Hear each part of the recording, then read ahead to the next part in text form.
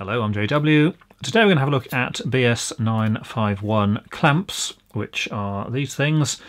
And uh, these things are used to connect bonding conductors to metallic pipes, things like gas, water pipes and whatever else. And uh, various sizes and types available. And point to note these are not suitable for connecting to cables, even though uh, they have been used for that in the past by various people. So uh, let's have a quick look at these and see how they're actually used and also uh, sort of different types and things you can actually get. Now this is a BS951 clamp and the purpose of these is to attach via the thing on the front here your bonding conductor to a metallic pipe such as a gas pipe or water pipe or whatever else. And uh, these are pretty much how these are packaged. So it just comes in a uh, box or bag or whatever. And uh, got this warning label here which just uh, slides over that piece but uh, these slots are not to be used when it's actually put on there, that's just for packaging purposes. When you actually use these, the uh, holes there are what you use, it goes over the thing we've got on the end there. Now this particular one has a blue screw there. Various colours are used by various manufacturers, mainly to determine whether it's useful to be used in a wet or damp environment, or whether it's just used in a dry environment inside some have colours, some don't, and uh, there's various colours used. But uh, suffice to say, if you're going to buy these, you might as well get the ones that are suitable for a damp environment because cost-wise there's virtually no difference between them. So uh, fairly simple in operation. This uh, piece here is what goes around your pipe, goes back in there. Screw on the front here tightens down, which uh, clamps it onto the pipe securely. And then your bonding conductor attaches to this screw on the front here. Now this particular one, if I look on the top there, and you see it's marked there A to D, and there's various other letters including E, F and upwards, and the point of this is it shows what size of conductor you can actually attach to the terminal on this one, A being the smallest, and it goes all the way to I, which is the largest. And have a look in this table, this is actually from BS951, and we can see that A, the smallest size is 2.5 millimeter squared conductors, and D is 10 millimeter square conductors. A to D is the uh, most commonly available because most bonding conductors tend to be around the 10 millimeter squared size. The smaller ones are permitted. But important to note, if you've got one that says A to D, it is not suitable for things of 16 millimeter squared and above. If you want to connect those two things, then you will need to buy one of these, which are E, F, and G, and so on. And of course, those are available from uh, the usual places. And here goes up to I, which will be a 70 millimeter squared conductor.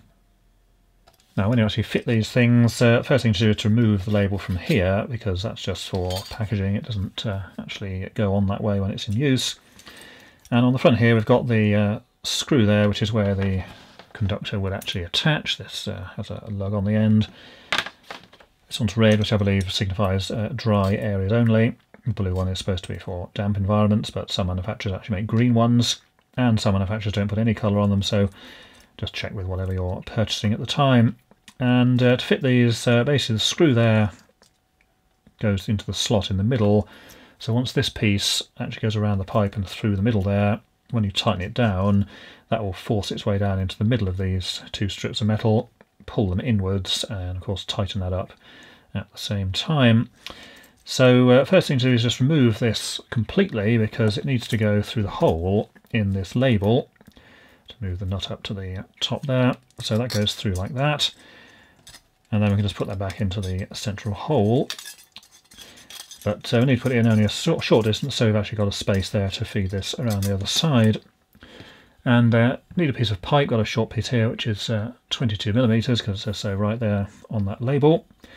This is copper, commonly would be used for water or heating or gas supplies in UK properties.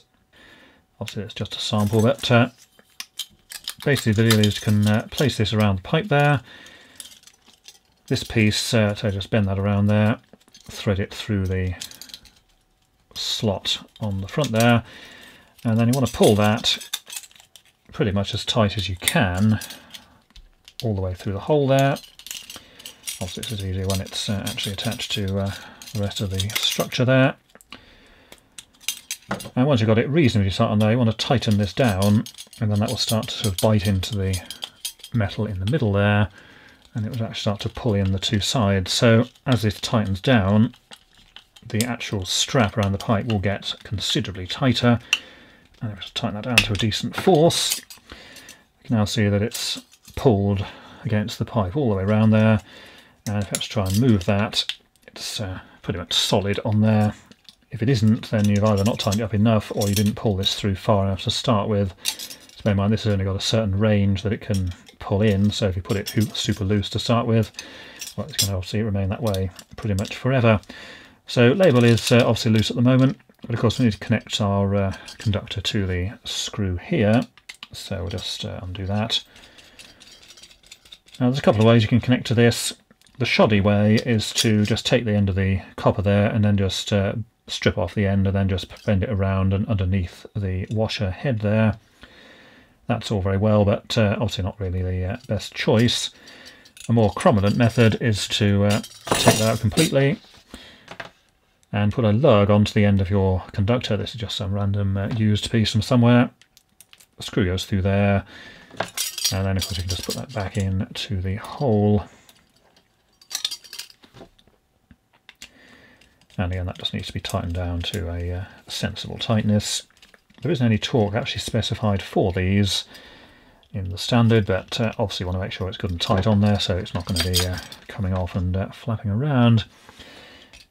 So you can just put the wire around there, but uh, say that's not really uh, as good as uh, doing it with a lug there, but if necessary you can do that. I'd suggest putting it up one side and down the other and coming up the bottom. Don't if you can avoid it, put it up sort of both sides with a split because the trouble with that is this only needs to loosen off a tiny bit and you can just pull the wire straight out. So if there is no lug, say put it up one side all around the other side and perfectly come out the other side a bit. And then you're actually tightening down onto the whole area of that rather than just relying on little pieces sticking up either side. Now the next thing to do is just secure this label and also this uh, lock nut here. Now a couple of choices here. You can just sort of position this sort of this way if you like, or up this way here. Some people like to actually put it over the top of the uh, screw there because that obviously avoids uh, disconnecting it without actually either bending the label out of the way or doing whatever. Because again, do not remove. The idea is you don't want to be disconnecting this without uh, knowing what you're actually doing. So put it over the top of there like that. And just get some pliers there and just uh, cinch that nut down onto there. Normally do it a bit more tighter than that and then that secures that label in position and so locks those threads to uh, avoid them coming undone accidentally. So that's pretty much the installed clamp there and then the other end of this obviously would go to another one or your earthing terminal or whatever else you're connecting to. Now this is a copper pipe here. These equally be used on steel, which you often find on say gas supplies, uh, quite often done in steel or in some older buildings it may be the uh, water supply there. These are not suitable for use on cables of any kind. Unfortunately, some people do like to use these on armoured cable, thinking it's a good idea just to uh, strip a bit of the armour and then just tighten this down. Completely inappropriate because armoured cables have a fairly soft material inside. If you tighten this down, it's going to apply a load of force there and it will crush the outer covering, which will result in a poor connection for a start and also could damage the conductors inside. The other place you tend to see these used completely inappropriately is on incoming supplies, particularly on smaller domestic ones, where you've got your lead uh, sheathed cable coming into the property, and you've got one of these stuck around the lead covering with your main earth connected to it. And again, the same problem really applies in that these provide a huge amount of clamping force when they're tightened up properly. And again, that can crush and uh, deform the cable, causing a fault. And if that's on an incoming supply at 100 amps, it's only 100 amps after the connection. The thing going out into the street may be sort of 400 amps, 800 amps, or even uh, no fuse at all. So if that gets tightened down and crushes the cable, there's going to be an explosion and a big fire. So definitely not an appropriate thing to use there, and uh, certainly something to be avoided. And also you shouldn't be attaching stuff anyhow because that's not the uh, property of the uh, actual owner of the building. It belongs to the distribution network operator. So fine for metallic pipes of uh, most types, but definitely not suitable for cables. And the other thing to watch out for is on uh, certain older gas supplies, there's a lead piece between the gas meter and the rest of the gas installation. And again, this is not really the sort of thing you want to be attaching to that. Lead is a relatively soft metal, so uh, something you want to avoid there. So hard copper pipework or steel or something like that, fine, but other things, uh, beware because crushing and damage obviously can occur. Now these things are generally one use, so once they've been put on the pipe you don't generally uh, want to reuse them. And the reason being is that once it's in the middle, see it actually deforms the metal tail quite considerably and that's what's basically pulling those two sides together as you're tightening down the screw. So it just sort of presses down in the middle and uh, deforms it. Also does the same for the other side, so it does pull in from both sides. So once you've used it, although you can take them off, you're going to have that big deformed dent in the middle there, so not really something you want to be using more than once. Now the other limitation of these things is the length of this piece. Now this is fairly standard sort of length, fairly short, and you see if we bend that around there, that's about the biggest size of pipe there it's going to fit round, so relatively small there. But of course some pipes things are considerably larger than that, so if you need to put around a larger one, don't be tempted to get say two of these and sort of thread one here and put the other on the other end and have a sort of double sized one, because then you're going to have to tighten it down from two places. And the problem also with that is that uh, it doesn't actually comply with the test in BS951 either which basically is to put this around a sort of a mandrel in a test jig, tighten it down to a specified torque, and then uh, it tries to rotate with a certain amount of torque applied at the end, and uh, if it rotates it's a fail, and if it doesn't, it doesn't. So although it might be tempting to put two of these on there, that is not the uh, correct procedure. If you've got a larger pipe, then the obvious answer is simply to buy a longer one. So uh, exactly the same idea here, same uh, deal on the end. Only difference is this bit's much longer. So once you've put that around, of course, that's going to go around a much larger diameter pipe there compared to obviously this uh, rather small one. And these are again readily available from the usual places. They're not particularly expensive either. So uh, if you want uh, larger pipes, then uh, just get a larger clamp like that. Now BS951 only applies to this particular type of clamp and the uh, little labels that go with it, but there is another place that uh, it is actually mentioned. So in the requires electrical installations. We have 7671. This is the blue one currently force here. If you have a look here in the uh, warning notices section, nothing about bonding conductors. A durable label to BS951 with the words safety electrical connection do not remove shall be permanently fixed in a visible position at or near. And then there's various choices we've got there.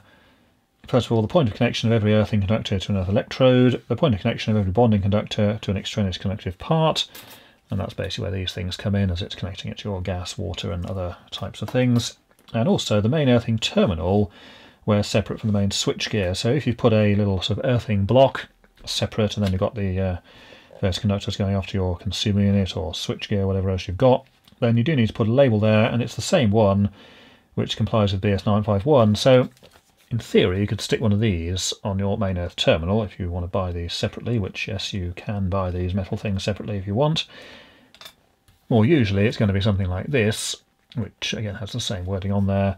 It's just a self-adhesive one, this uh, particular example. Now you can buy these in a whole variety of different places and they're various styles. Some have a green symbol on and some are sort of horizontal and some are vertical like this one. Now the only thing in BS951 which actually defines this, apart from the words themselves, is the height of the lettering and it just says the lettering needs to be at least two and a half millimeters high so it doesn't actually matter particularly what the uh, other factors on there. It doesn't say it has to be yellow. It could be any colour you want really, as long as those letters are two and a half millimeters high or more. And if we look at these particular ones, we can see that those are sort of in the region of about four millimeters. So again, absolutely fine there. This metal one we had earlier, again, sort of four millimeter sort of size once again. So actual style of the label isn't specified. It is just the side of the writing on it. So that's BS951 clamps connecting to metallic pipes only, not suitable for cables or plastic pipes obviously because those are insulating so no point. And uh, if you've got a metal pipe make sure it doesn't have any paint or other things on the outside because of course that's also an insulator which would result in it not making a electrical connection. And just final warning about gas supplies, you may come across something called TracPipe, a TRAC. That is a thin wall pipe and it generally has a yellow plastic covering over the outside it's fairly flexible, and although it is metal, do not attempt to attach one of these to it.